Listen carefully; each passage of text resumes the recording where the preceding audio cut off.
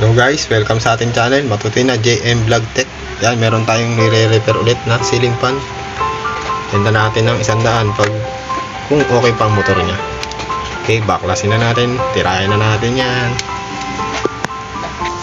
Dating gawi, galing ulit sa junk shop. Nabili ko na ng 20, pe- 20 pesos. Yan yung guys, yung nirepair kong na ganitong kulay blue na ceiling fan ay nabenta ko na kagad.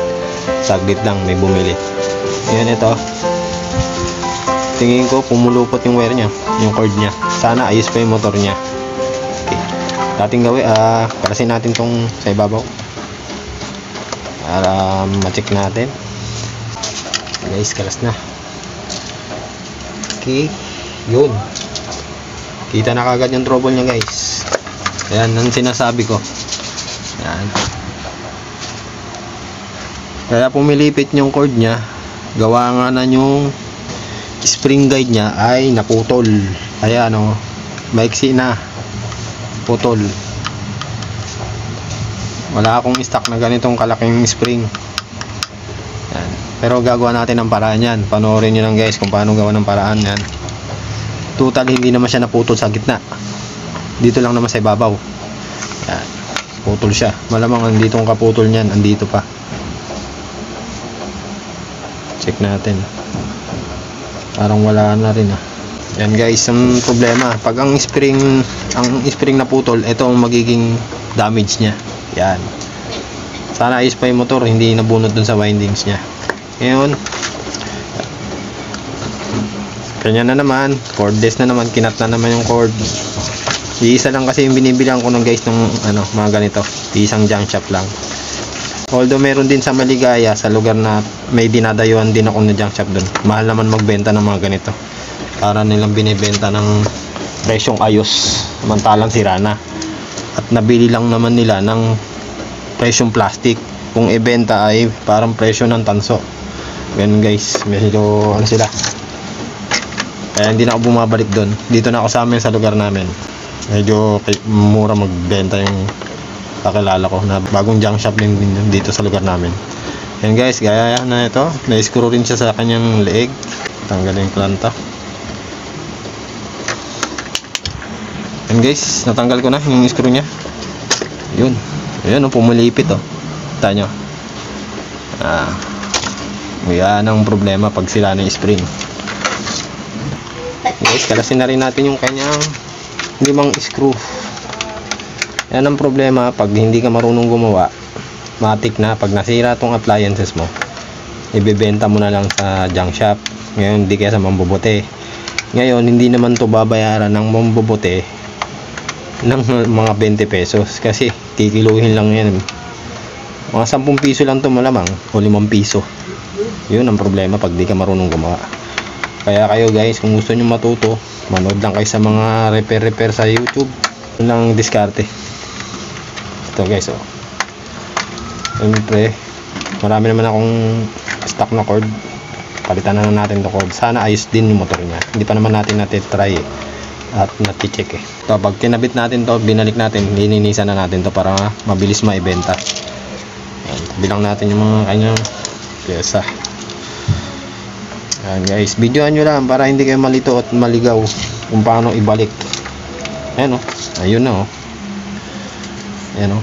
Ayan o. Kita nyo guys. Ang sira niya. Ayan. Ito. Ayan, putol. Ayan yung putol o. Kita na. Tapos tabit ng, tabi lang natin yung front cover niya. Yun. Ito guys. Put. Dahil papalitan natin ng cord, bunutin na rin natin yung C-clip niya para malangisan natin yung loob at pumagal siya ulit. Gawa na lang natin paraan yung spring niya. Kasi putol na eh. Gawa na lang natin ng paraan. Tanggalin ko muna yung mga ano niya, hélice niya kasi masikip dito guys. Yan. Yan. Kailangan magalit marunong kang gumawa kahit konti lang guys. Para kasi ganyan ito, ang trouble lang niya ay minor lang. Cordless lang. Sira lang yung cord niya. Damage lang yung cord. Ngayon, bunutin na natin yung kanyang sikdip. Yan, sikdip yan guys. Yun. Pag binalik natin to guys, medyo i, ano natin, pipiin natin para sumikip siya. Kasi oras na binunot mo yan, lumuwag na yan doon sa pinagkakabitan niya.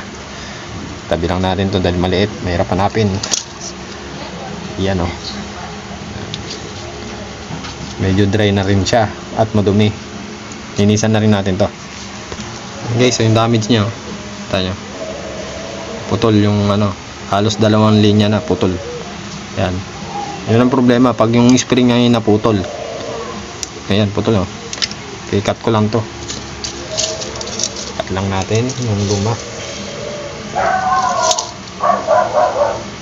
Siyempre, tetesterin natin siya para malaman natin kung ayos o sira na. Yan guys, yan guys, testerin na natin. Uh, Tensya na may dumi rito dahil marami na akong nagawa, ah, na-repair. Ito lang ang i-vlog natin. Gamitin na natin yung ating bagong tester. Baka masira pag hindi ginagamit. Yan guys, kita nyo ba? Check natin. Yan, mahalo naman. Ito sa sa zero. Yun. Guys, pumalo. Ibig sabihin, ayos pa yung ating motor, stator o dynamo. Yan. Palo siya guys. Sabihin buo pa. Naging trouble niya lang ay pumulupot yung kanyang cord. Ito lang ang naging trouble niya. Yan. Okay. Ayan, nilinisan ko lang yung mga parts niya para maisalpak natin to. Balikan ko kayo. Yan guys, ito yung code na ipapalit natin. Siyempre, testerin natin to bago natin isal isalpak o ikabit para yung trabaho natin ay mabilis. Kasi pag hindi mo tinester to at naisalpak mo na, yun, magkakalas ka na naman. Kung sira siya, ha? Okay, balatan ko lang. Ayan.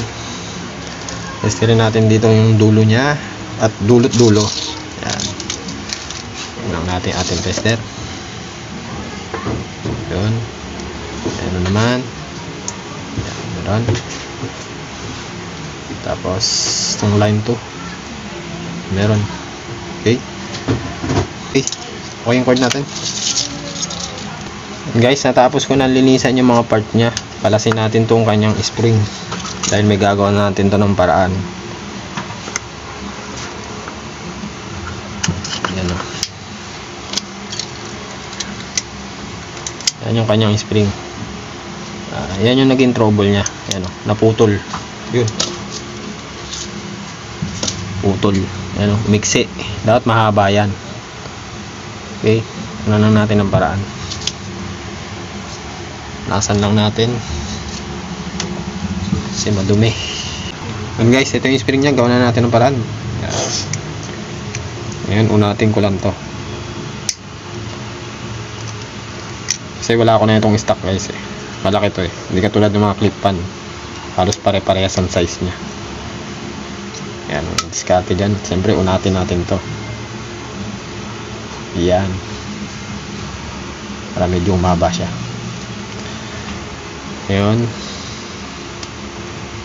ngayon natin ay kuha tayo ng bagya na yan tapos tayo itatayo natin para magkaroon ulit siya na kumaba ulit siya. Yan, pwede naman yan eh. Kasama niyan yung maputol siya sa gitna. Medyo mahirapan ka na yan yan ba? Yan ang ano yan papel yan guys. Itong dalawang dulo na to importante to. Yan tsaka to. Oras na isa dyan ang maputol. O di kaya maputol sa gitna. Pipilipit na yung cord mo siyempre mawala ng power hindi na andar kasi nga may naputol na sa cord. Yun balikan natin guys. Makalimutan yung itong itong dulo na to para dito yan ha. Yan yung may gatla na yan. I-ano mo lang isuot mo lang siya ng paganyan. Tapos tulok mo na. Ayan guys, salpak na natin. Okay na, meron na siya, umaba na ulit. Yan ang gawing technique. Sakaling ganito ang trouble ng ceiling fan nyo, pwede mo nang unatin ulit, magbumawa ka ng panibagong linya niya. Kasi maiksi siya kanina, di ba? Kaya pumilipit yung cord na putol, nabawasan siya, umiksi. Yun, hinabaan natin ulit. Yun. Guys, kunin na natin ating cord. May isasalpa. Ito yung ating cord. Guys, nalinis ko na siya. Yan, mga malinis na siya. Siyempre dito una-una mo isasalpak yung cord. Ah, ilulusot dito. Ah. Tapos bate. Tapos to, yung pinaka dynamo niya o yung pinaka motor niya. Guys. Huwag natin kalimutan yung pinaka cover niya itong parang spaghetti tube niya. Ngayon kung wala kayong ganito o ayaw nyo iba dito, pwede naman yung tape. Guys, balik lang natin to.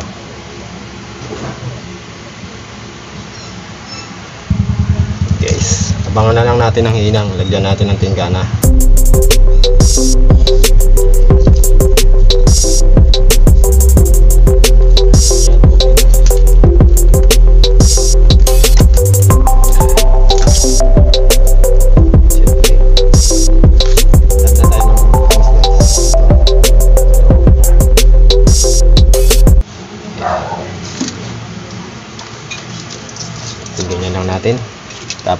Maglagay na rin tayo dito sa pinaka shafting niya, ha.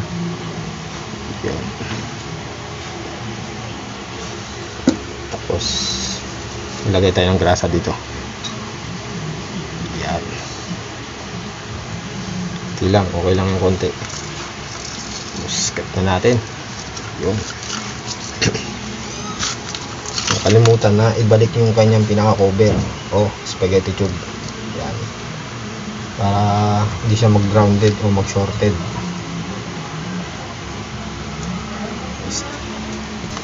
Guys, okay na. Ngayon, huwag niyong kakalimutan na i-clip dito yan ha. I-clip dito. Iipit nyo dyan, kahit saan dyan. Ha? I-clip nyo siya. O, ipitin nyo siya dyan. Ito na lang. Yan para oras na maputol yung spring ulit hindi madadami itong windings niya sa loob. Hindi mahuhugot kasi nga nakaklip siya rito. Ha? dito lang yung mapuputol. Ha? ganito ka importante rin itong ano na to. Kaya nga hindi siya natuluyan yung unang naputol ang kanyang cord dahil nakaklip siya rito.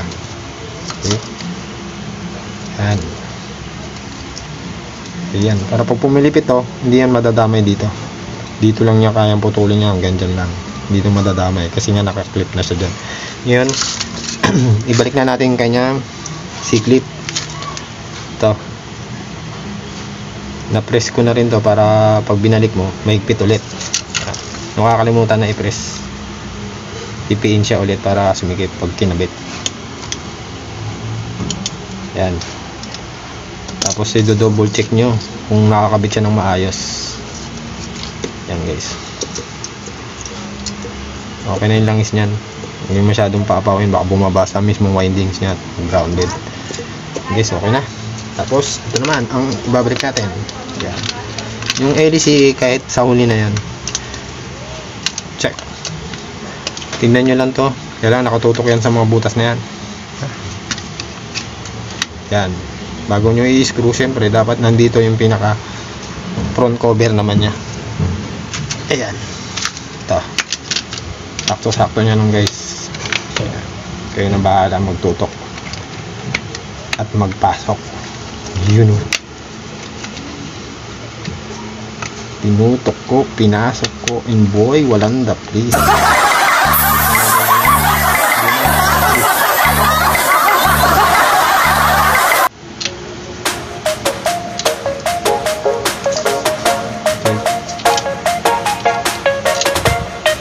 please pre, kita na natin Ayan, guys, skip na natin yung pinaka ano niya base niya ito yung titig yung base niya kaya pala isa lang isa guys, ganito lang yung kanyang screw ito, nagpitan ko na yung lima rito na screw. Bababa mo lang yan. oh. Bababa mo lang. Para matakpan siya. Yan. Tapos, ito. Pinakasabitan niya. Yung kakalimutan na kailangan nakasentro yung buo. Itong spring na to. Yan, spring na yan. Kailangan nakasentro yan dito. Mamimili ka na lang dyan guys kung saan mo gusto ilusot. Ah. Gusto natin ha. Yan. Pag yan hindi nakalusot at kinabit mo, pipilipit na naman yung wire niyan. Kailangan nakalusot yan. Yan ang silbi niyan guys. Okay na. Yan. Okay na, nakasentro na yung tatlong butas niya. Kabit na natin natin yung tatlong screw. Kita na natin. Graduin nyo guys sa mahigpit to ah. Kasi pwede lumaglag yan. Pag maluag. Itong mga ganitong ceiling fan ay masyado tong may, may vibrate talaga to pag umaandar. Nagba-vibrate. Kaya habang nagba-vibrate, kumulog yung screw niyan. Kaya kailangan higpitan mo. Guys, plug in na natin. Siyempre, ito yung kanyang cord. Plug in na natin. At i-on na natin. Kahit wala muna LEC guys, kasi masikip, masikip dito. Guys, kita nyo? Okay na, di ba? Benta lang natin sa ng bebenta lang natin siya ng 100 pesos. Ikabit ko lang yung LC niya. Yan. Okay. Yun na natin guys. Yan. Ganyan talaga yan. May bumibelo muna yan bago umikot guys. Okay na guys. Yan. Okay. Okay. Yan po. Sana may natutunan kayo. Kung bago lang kayo sa akin channel, please subscribe, like, comment. Pakihit na rin yung notification bell guys, yung all. Para updated kayo lagi sa ilalabas kong iba't ibang video. Yan. Maraming maraming salamat po. It's my life.